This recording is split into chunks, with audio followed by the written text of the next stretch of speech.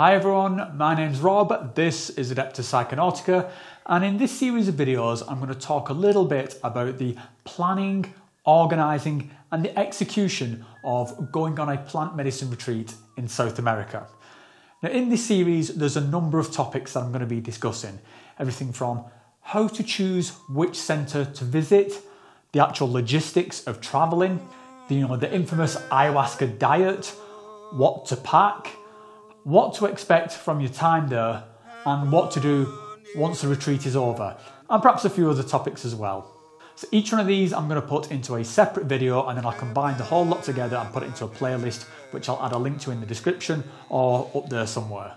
The reason I'm doing this now is I'm about two weeks away from my next trip out to South America. And I've done this about four times now, so I've got a handle on what kind of works. And it's my hope that in sharing this with you, it'll help you plan for your own trip. So, the first question that people always ask is which is the best centre to go to? And the truth is, it depends. It depends on what you want. And so, there's a lot of different factors that we're going to have to take into account here.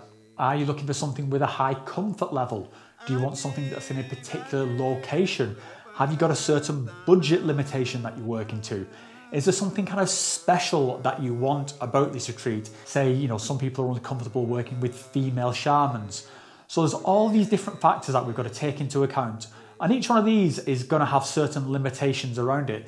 So really, any planning any kind of retreat like this, it's a compromise. And perhaps if you know, if you're one of these people who are lucky enough to have infinite resources and infinite money, it's not a problem for you. But for most of us, we're going to have to find somewhere on that line that balances things out.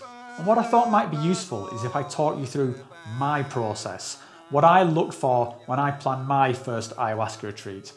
Now, this is not to say that you should follow exactly what I did. You know, you're going to have different tastes and requirements to what I did. But I'll talk through the mental process and then you can map that onto yourself and think, oh yeah, well, I, I want it to be more like this or I want it to be more like that and make your own choices. So when I planned my very first trip out to South America, I had a certain set of expectations and requirements in mind. For me, it was my 40th birthday, and at the time, as far as I knew, this was going to be my one and only trip out to Peru. So I wanted to make sure that I packed quite a lot in there. I really wanted to see as much as possible within the sort of two weeks that I was there. And I knew that I wanted to see some of the jungle and also see some of the sacred valley, like kind of like Machu Picchu stuff. So I was, I already was building up a picture in my mind. Um, obviously, I wanted to do things like ayahuasca ceremonies. I knew I wanted to do a San Pedro ceremony. I knew I wanted to see Machu Picchu. I wanted to see as much of of the jungle as possible. So I knew I wanted to do something which involved a lot of activities and excursions. Uh, so I wasn't just going to be sat, say, in a, in a centre somewhere every day. I wanted to be sort of going out and seeing lots of different things. So I really was packing as much into this trip as possible. Now, the simple and most obvious requirement was that I was looking to do ayahuasca. And so I knew I wanted to do as many ayahuasca ceremonies as possible within the time there. And I think that a more, the kind of most reasonable amount you can do is four ayahuasca ceremonies within a seven day period. So that I found a centre, first of all, that could fulfill that requirement. Um, I also wanted to sort of try a few different kind of plant medicines, things like Nunu or, or Kambo, which is a toad medicine. So that sort of packed out that first week for me is that I knew I wanted to be in the jungle. I knew I, I was going to go to the jungle first, do ayahuasca in its traditional setting, um, do a lot of jungle excursions, things like uh, going visiting uh, this place called Monkey Island, where monkeys will come right up to you and you can interact with them, and they'll sort of come and sit on your knee. And you can feed them out of your hand. Um, going to other sort of like wildlife preserves. I also knew at that point that I wanted to work with a Shipibo shaman. The reason I knew this is I'd been going on YouTube and I'd been listening for like certain traditional songs and like flicking through different playlists of traditional Icaros. These are the songs that the shamans sing. And I heard some songs by the Shipibo shaman and they really just resonated with me. And there's different style, different shamanic styles and traditions, but I'd kind of got into head, okay, I want to work with a Shipibo shaman. So that kind of gave me my full set of requirements around the jungle part. And then I knew that ideally I was then going to, you know, after the jungle part had finished, move over to the Sacred Valley, which is in the mountains, and do another week there, and there do things like uh, San Pedro, which is you know the, the cactus medicine, uh, and visit places like Machu Picchu.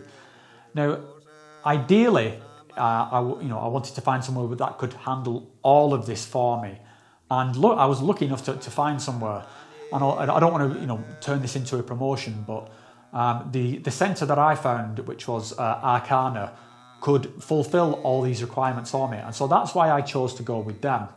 And again, that was just my specific requirements. Now, let's kind of map that onto a completely different scenario. If you're wanting, say, you know, a very introspective time, not as much socializing, um, somewhere with a lot of peace and quiet, a lot of sort of quiet meditation time, then maybe, I, you know, the place that I went to, Arkana, would not be as good as fit for you. I hear that uh, places like Temple of the Way of Light are much more uh, aligned with that kind of um, introspective route. So, really, the question is always to you what do you want from this ceremony? What are your expectations? You know, if you're looking for, um, you know, a, a, sort of a younger, more activity crowd, then yeah, you know, make sure that you find somewhere like that. You don't want to then go into somewhere where they expect to be very kind of solemn and, and quiet. And really, the, the best ways to find this out, certainly you can do things like uh, look on YouTube or Reddit for reviews. Um, but also, you know, if you find somewhere that looks, you know, almost right, but you're not sure, then get in touch with that centre. You know, any reputable centre will be happy to answer questions that you've got. So, you know, phone them up or, or drop them an email and just say, hey, you know, can we arrange a call or can I ask you some questions? And I'm sure they'll be more than happy to accommodate you. So the key thing here is to find a centre that aligns with what you want. You know, don't just go off that you've heard that this center is the best or it's the most authentic. That kind of means nothing, or perhaps it meant something to the person who said it, but it doesn't necessarily apply to you. You know, my idea of the best might not be your idea of the best. So always pick the thing which resonates most with you. So that's my basic advice for choosing a center. You know, have a good look around, follow your heart, and pick the one that you think is right for you. And for anyone who's already been, you know, I mean, what do you think? If you agree or disagree with any of these comments or you've got recommendations of your own, just stick them in the comments below and uh, tune in next time as I continue this series and we'll talk about the kind of the whats and the hows of actually making the trip to South America. And as always, a big shout out to my patrons. You guys are awesome, and I will see you all next time on Adeptus Psychonautica.